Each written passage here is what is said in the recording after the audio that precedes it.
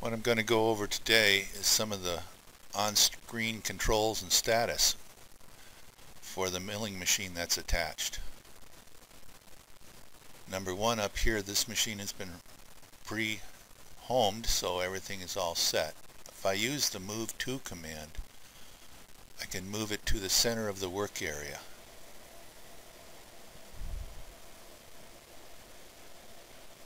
If I use zoom out, zoom O, I zoom out a little bit. The blue box represents the machine limits. And if I move to a limit, past the limit, it will only go to the limit.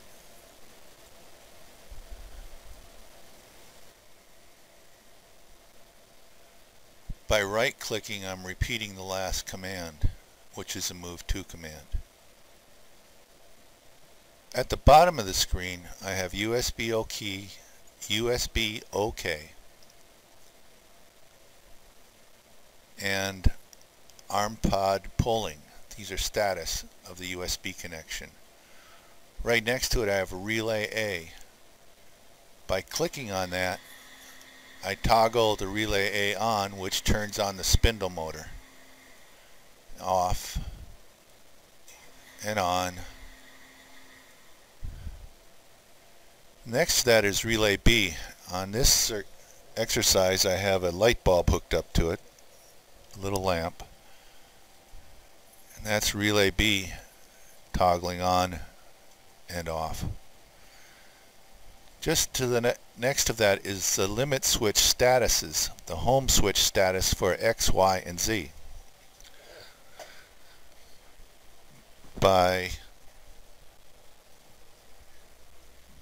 clicking on the button, the limit switch, the status is shown on the screen. This is for the Y.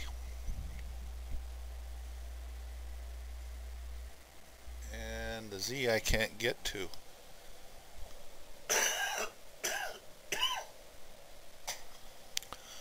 So what I'm going to do is I'm going to use the set surface command. I'm going to pull the slider bar down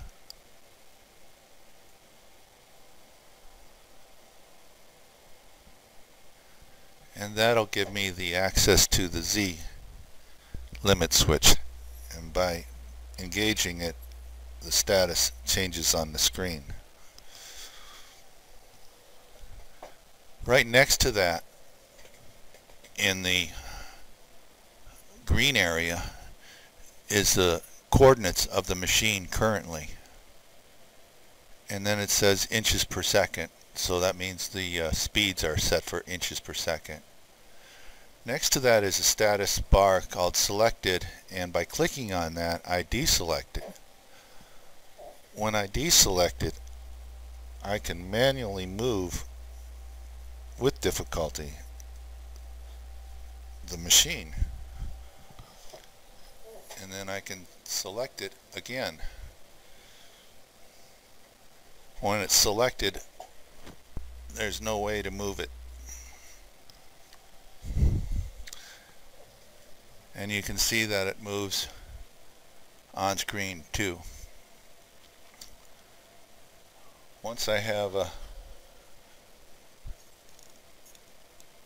moved the slider bar down to where it's just touching the surface, I click on the set surface command.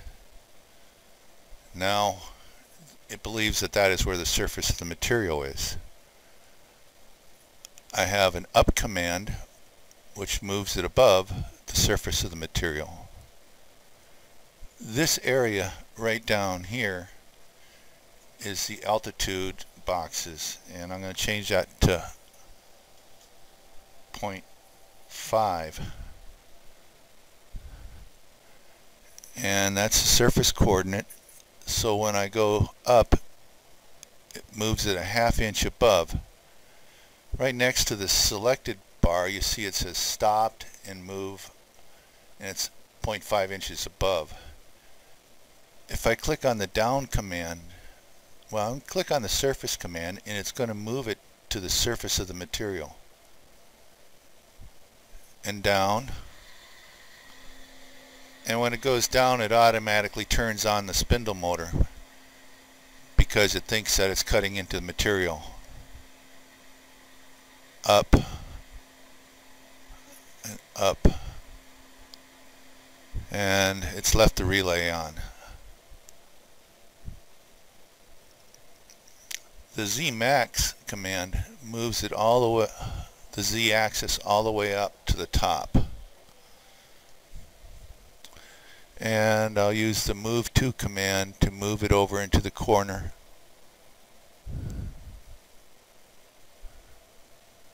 And then under the control pull down there's a home command. And what it does is it moves